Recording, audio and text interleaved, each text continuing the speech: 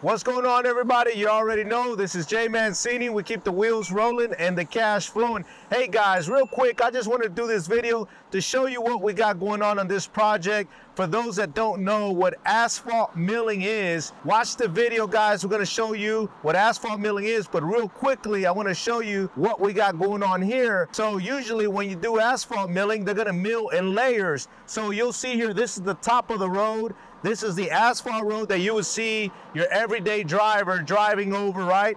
And then when you mill and you have a milling machine milling the asphalt, usually what they do is they'll do it in layers. So on this particular project, the first layer you see here is four inches. You'll see a drop from the top to the bottom here to the second layer.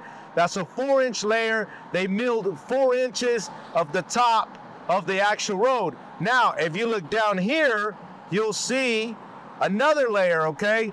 This is where they've actually milled another six inches. So now you have a total of six and four. That's 10 inches between two layers of asphalt milling. All right, guys, so now I wanna show you another part of the milling. This is actually the base. So they've already milled the asphalt 10 inches combined, and now you see another layer at the bottom of it. This is called the base, the base material, okay? This goes underneath the actual asphalt. So as you can tell here, they've actually milled this already. We're actually already starting to haul this, haul it away, right, and take it to the plant. So this is actually a total of 12 inches, one foot to get to the bottom. And if you look at the bottom here, the very, the very bottom of it is the actual dirt. This is where you actually hit the natural ground, which is dirt. So we got the dirt at the very bottom. We have the base, that's a whole foot, 12 inches, and then you see the asphalt milling at the top. So total combined, we got 10 inches of asphalt, 12 inches of base till we get to the bottom, to the soil. So with that being said, I hope you found this video valuable and check us out while we haul this milling in this base.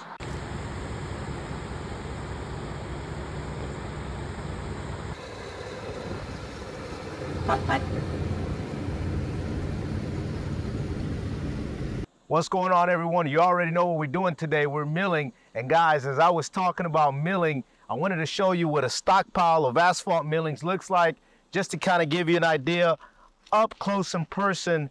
This is what asphalt millings look like. So if you're not in the dump truck business and you're learning about the dump truck business and you're learning about milling as we've been talking about today, this is what asphalt millings look like. Now, wanted to dive in a little deeper about asphalt millings and just let you know a little bit more about it. So asphalt millings, as you notice, we're milling the road, and once it gets stockpiled, usually they come to a place like this where it gets recycled.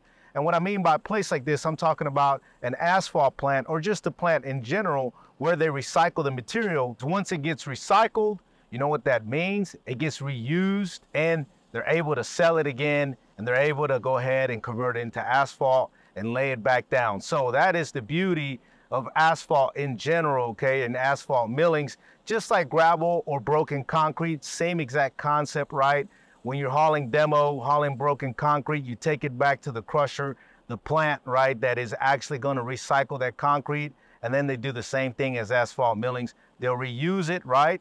And they'll be able to sell it back again and use it for other purposes, you know. So same thing here with the asphalt millings. Now, one thing I wanted to also point out to you guys, if you don't recycle the asphalt millings, you can use them as is. I'll tell you a few things that they're really good for, okay? Asphalt millings, just as is, is what you see right now, are great for those that have an unpaved surface or unpaved road. I've seen a lot of people, you know, that they want it for their driveways, meaning if they want a more cost efficient way instead of pouring concrete or on their driveway and it's an unpaved road or what they do is they'll go ahead and they'll just lay down some kind of base material and then they'll bring asphalt millings like the ones you see here. You lay that on top and now you have a stable driveway for your property.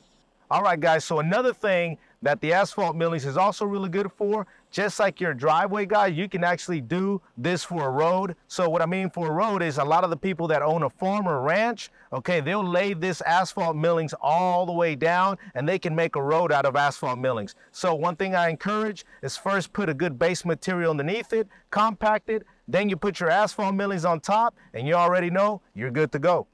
All right, guys, you already know this is Jay Mancini. We keep the wheels rolling and the cash flowing, and we'll see you on the next one.